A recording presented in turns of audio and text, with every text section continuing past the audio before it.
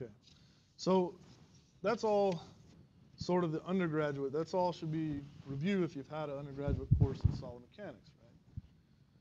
What we want to do in this class is we, we want to be able to predict the deformation of solid bodies, right? volumes.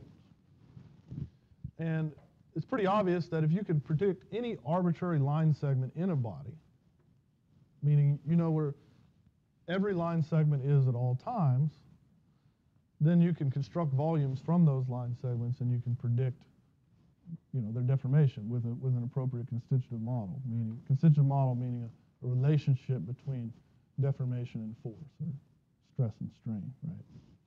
So uh, what we want to do in this class is we want to understand basically how line segments change from one configuration to the other.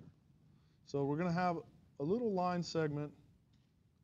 I'm going to call it D capital S, and I'm going to try to be judicious about putting these little, because it's hard to tell a capital S from a little s, right? So I'm going to try to be judicious about putting these uh, little bars on my S, right?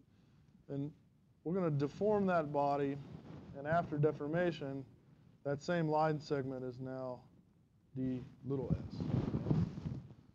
And just to introduce some terminology, let's name these configurations. So this first one, and it's the one that I'm going to try to consistently use in the class, we're going to call the reference configuration.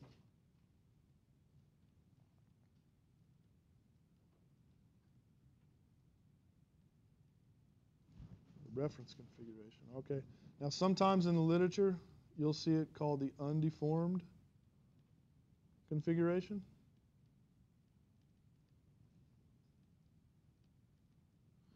Now, I put, oh, I didn't even spell that correct. Sorry. Try it again. Undeformed configuration. So I put the undeformed in quotes because undeformed is relative, right? I mean, if we're talking about a, a piece of steel casing, clearly at one time in its history, it was an ingot somewhere right? Before it was, so it was deformed into a steel casing, right?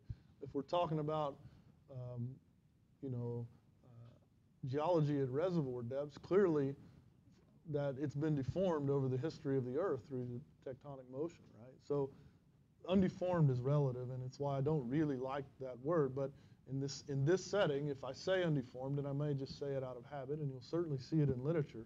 If I say it, what I mean is reference configuration. The the point from which we're going to judge everything else or refer everything else from. Okay. So also you may hear this or see this in the literature. It's called the Lagrangian configuration.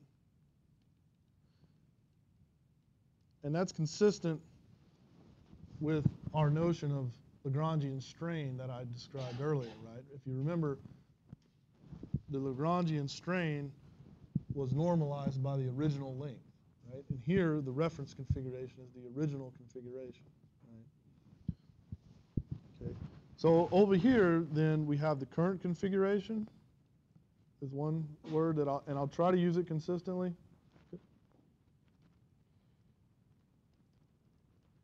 You'll also see this called the deformed configuration.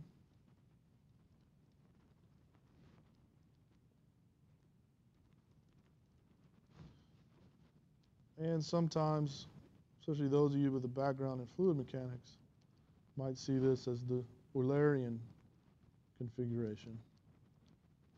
And again, that's consistent with our previous def definition of Eulerian strain, where the, the, normalization was done with respect to the final length, right? Okay.